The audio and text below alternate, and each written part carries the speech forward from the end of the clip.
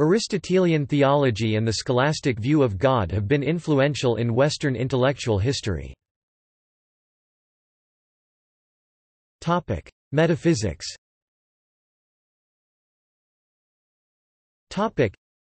in his first philosophy, later called the Metaphysics, or After the Physics, Aristotle discusses the meaning of being as being. He refers to the unmoved movers hyperagents, and assigns one to each movement in the heavens and tasks future astronomers with correlating the estimated 47 to 55 motions of the Eudoxan planetary model with the most current and accurate observations. According to Aristotle, each unmoved mover continuously contemplates its own contemplation, the planets and stars, which have their source of motion within themselves by virtue of ether. Aristotle's fifth element aspire to emulate the uniform circular motion of their particular mover. Thus captivated, their tireless performance is entirely the result of their own desire. This is one way in which the movers are said to be unmoved. Likewise, they must have no sensory perception whatsoever on account of Aristotle's theory of cognition, were any form of sense perception to intrude upon their thoughts, in that instant they would cease to be themselves, because actual self-reflection is their singular essence, their whole being.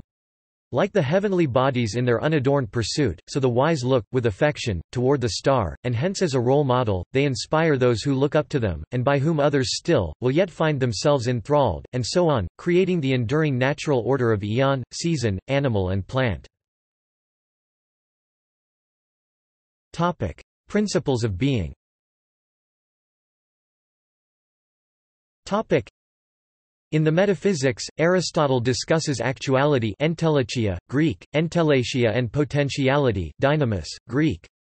The former is perfection, realization, fullness of being, the latter imperfection, incompleteness, perfectibility. The former is the determining, the latter the determinable principle. The unmoved movers are entirely actual, actus purus, because they are unchanging, eternal, immaterial substance. All material beings have some potentiality. The physics introduces matter and form and the four causes material, formal, efficient and final. For example, to explain a statue, one can offer the material cause, that out of which the statue is made, is the marble or bronze. The formal cause, that according to which the statue is made, is the shape that the sculptor has learned to sculpt. The efficient cause, or agent, is the sculptor. The final cause, is that for the sake of which the statue is made, the actual statue, contrary to the later so-called traditional view of prime matter prima materia in Latin, Aristotle asserts that there can be no pure potentiality without any actuality whatsoever. All material substances have unactualized potentials. Aristotle argues that, although motion is eternal, there cannot be an infinite series of movers and of things moved. Therefore, there must be some, who are not the first in such a series, that inspire the eternal motion without themselves being moved, as the soul is moved by beauty.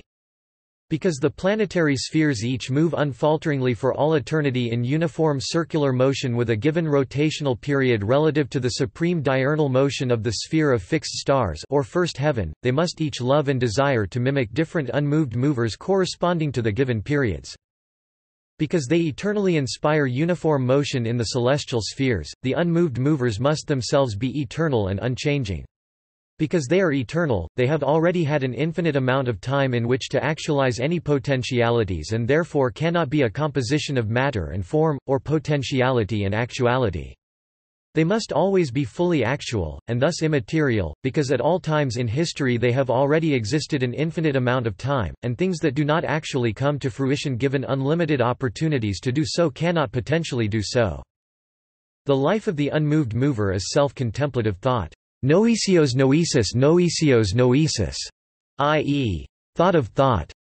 According to Aristotle, the gods cannot potentially be distracted from this eternal self-contemplation because, in that instant, they would cease to exist. Influence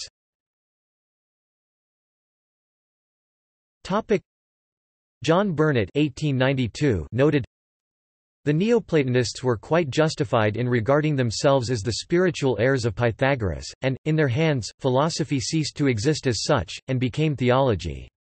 And this tendency was at work all along, hardly a single Greek philosopher was wholly uninfluenced by it. Perhaps Aristotle might seem to be an exception, but it is probable that, if we still possessed a few such exoteric works as the Protreptikos in their entirety, we should find that the enthusiastic words in which he speaks of the blessed life in the metaphysics and in the ethics, Nicomachean ethics were less isolated outbursts of feeling than they appear now. In later days, Apollonios of Tyana showed in practice what this sort of thing must ultimately lead to. The theurgy and thaumaturgy of the late Greek schools were only the fruit of the seed sown by the generation which immediately preceded the Persian War. Aristotle's principles of being see section above influenced Anselm's view of God, whom he called that than which nothing greater can be conceived.